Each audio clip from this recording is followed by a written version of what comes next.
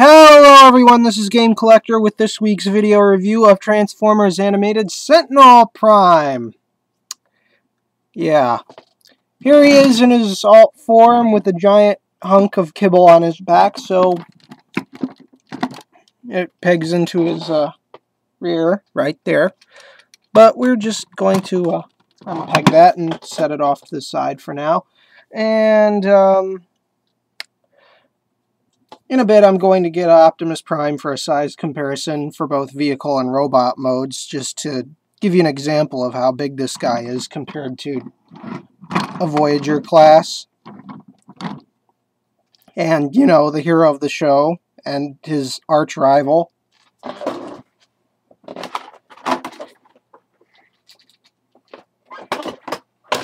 So, as you can probably tell, he's, um, snowplow truck, which would be good for Detroit, you know, because that's where the show takes place, you know.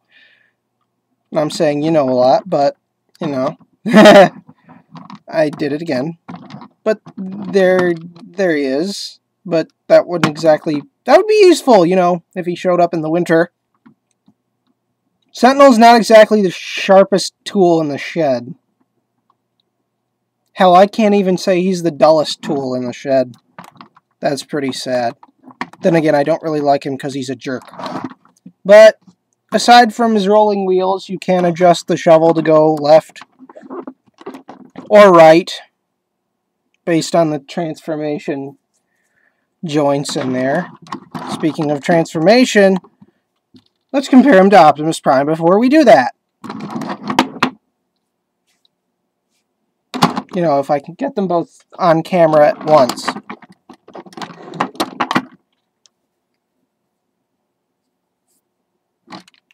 Optimus is a fair bit larger. You'd expect that of a fire truck and a snowplow, wouldn't you? So, um, for now, we're going to transform Sentinel here. Starting with uh, this part. Pull it back. Click it right in there. And those will become the back of his feet, or his heels. Then you pull his legs up, you push the windshield down. Make sure his legs are sticking up at a diagonal angle, such as that. Now here comes the part that I hate. Transforming the arms. First of all, you have to unpeg his arms, which are very cooperative today. And then you have to get that little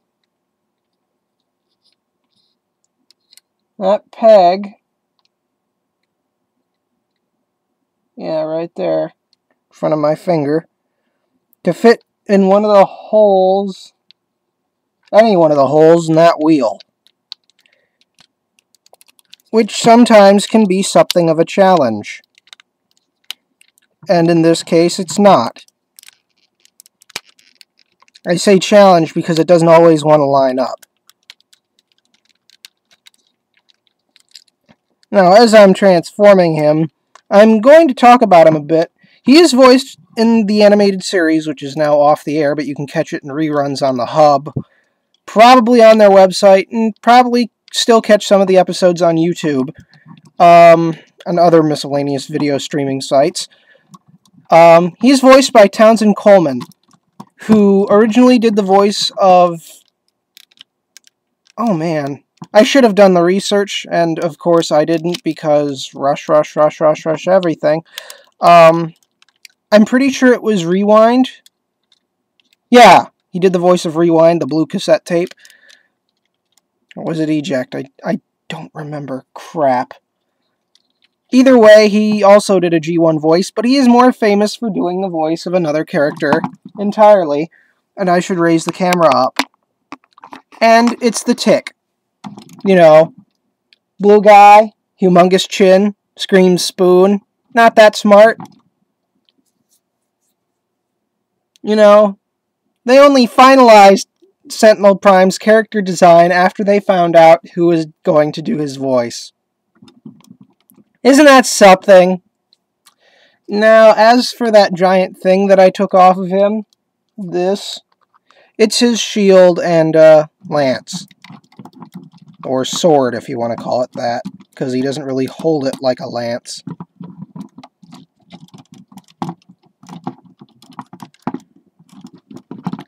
Doesn't exactly want to stand up either. I don't like his heels. And I just peg his legs back together.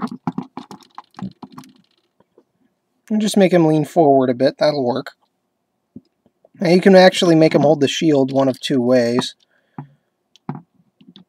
You can have him hold it, hold it straight forward.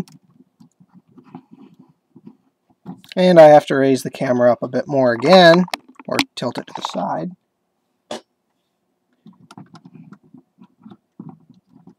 Or you can uh, put it to the side and have it like that. Now, one of the problems I have with this figure, I don't like his elbows because part of his transformation, if you ever try to straighten his arms out, his arms try to go backwards. Which kind of goes against that because he does technically, in a sense, have double jointed elbows. Technically. It's just that they don't work in the proper ways that you would appreciate having a double jointed elbow. That aside, he does have uh, posability, of course. The thigh swivel and a ball jointed thigh.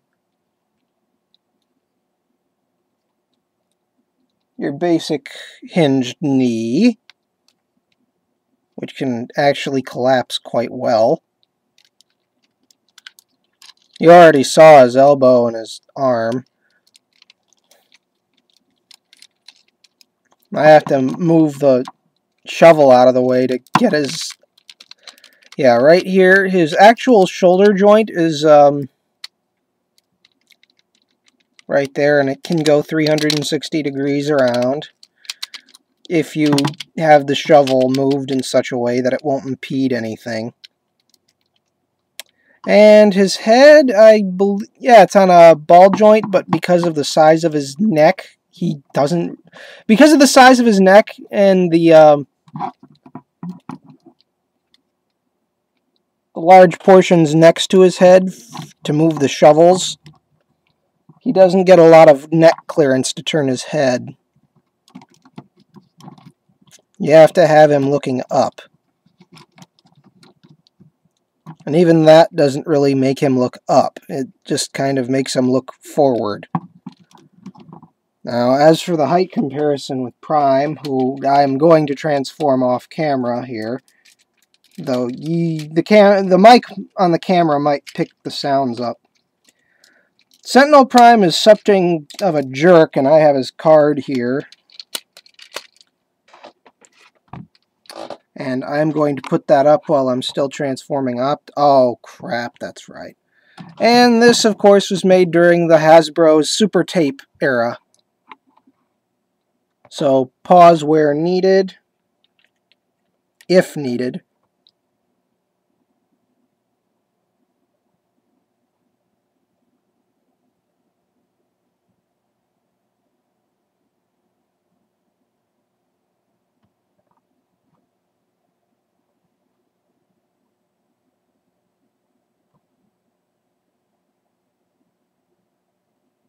You might have to squint. And here are his galactic powers and abilities. And again, because this was the heavy tape era, trying to get that undamaged was almost impossible. Uh, Battle Lance fires energy bolts, is what it's supposed to say. Shield can absorb energy and convert into fuel. Thinks humans and gross and may be contagious. More like was just completely phobic of any organic life ever. So much so that it would kind of debilitate him. Which was funny, considering no one really liked him in the first place. And again, Optimus being his arch rival, something or other.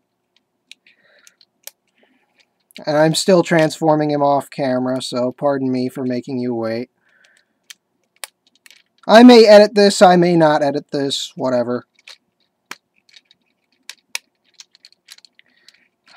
Damn it.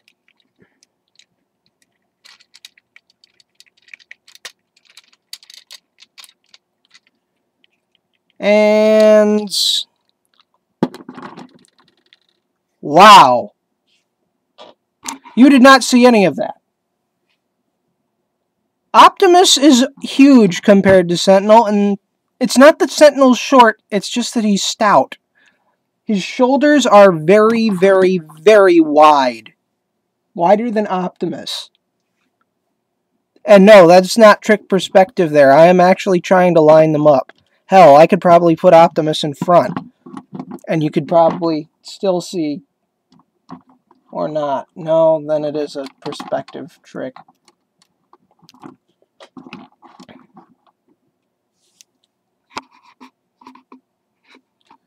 But yeah, Sentinel is just really wide up top, and his legs aren't exactly all that big. As a matter of fact, in the show, his legs are even smaller. Slenderer, even. And, well, there's not really too much to say about Sentinel, aside from he's a jerk, and... Oh, yes, that's right! There is a reference to this particular Baba Hababa can't talk. This particular Sentinel Prime in transform in a comic book, Wings Universe, where he is Sentinel Major and one of Kup's superiors when Cup was still young. And he gets in a he ends up having one of the encounters when Bruticus first appears ever, and he gets squished. The end. Yeah. And no one mourned the loss.